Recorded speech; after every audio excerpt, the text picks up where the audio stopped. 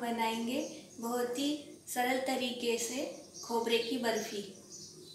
सिर्फ़ तीन इंग्रेडिएंट से हमारे बनेगी खोबरे की बर्फ़ी सिर्फ़ दस मिनट में। सूखा नारियल, जिसे हम खोबरा बोलते हैं मराठी में, चीनी और पानी।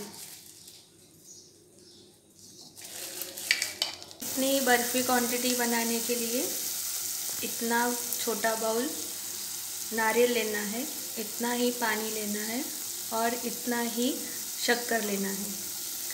इतने ही तीनों को मिला के अच्छे से ड्राई होने तक इसे अच्छे से पकाना है। ऐसा।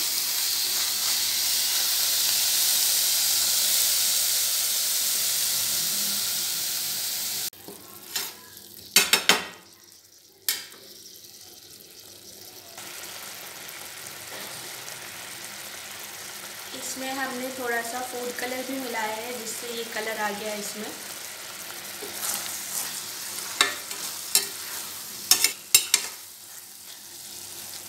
बीच बीच में इसे धीमी आँच पे चलाते रहिए।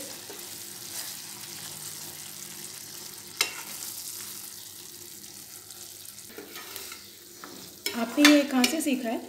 ये मेरी नानी बनाती थी। फिर मेरी नानी से मेरी मम्मी फिर मुझे उन्होंने सिखाया। अच्छा। तो ये मतलब ओकेजनली बनता है या कभी भी बना सकते हैं? नहीं जैसे कभी मीठा खाने का मन हुआ हाँ वैसे तो हमारे यहाँ पे गुड़ी पाड़वा पे बनाते हैं। हाँ। क्योंकि हमारा न्यू ईयर होता है। हाँ, महाराष्ट्र में गुड़ी पावड़ा जो न्यू ईयर स्टार्ट होता है उसको गुड़ी पावड़ा कहते हैं। लेकिन आज ऐसे ही मन किया तो हम लोगों ने बना ली अच्छा। तो इसे पूरा चिपचिपा और गाढ़ा होने तक पकाते रहना है। हाँ। और ये अच्छी बात है कि इसमें सिर्फ़ तीन ही इंग्रेडिएंट्स गिरे हुए हैं। एक नारियल एक पा, पानी और चीनी। इसमें घी का यूज़ नहीं किया आपने। ये बहुत अच्छी बात है। उनके लिए बहुत अच्छा है जो डाइट पे। जो घी खाना पसंद और इसमें थोड़ा सा थोड़ी सी इलायची हरी इलायची। अच्छा इलायची। हम्म, स्वाद के लिए। अच्छा।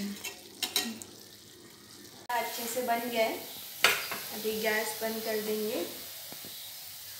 और इसे एक प्लेट में निकाल लेंगे।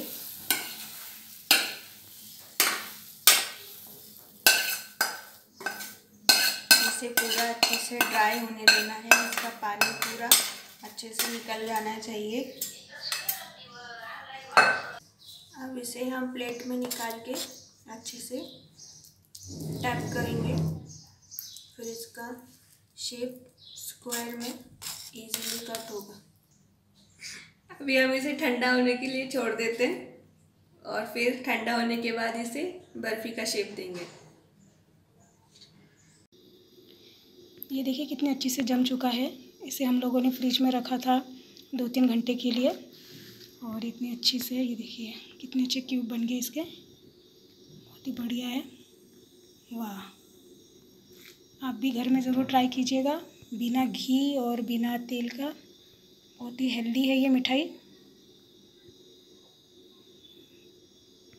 ज़रूर एक बार ट्राई कीजिएगा और खा के हमें बताइएगा कि ये आपको कैसे लगी। बाय